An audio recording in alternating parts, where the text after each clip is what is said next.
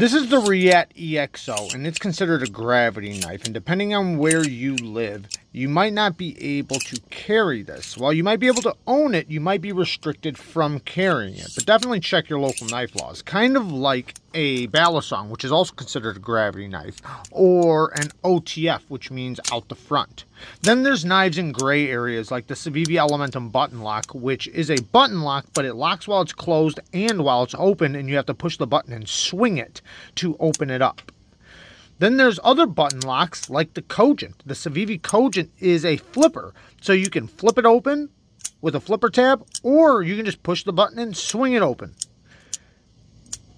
Now, then there's other button locks like the Kizer Original, which is very similar. It's a button lock, but you can use the thumb studs to deploy it, or you can just push the button and swing it open. Thanks for watching. Peace.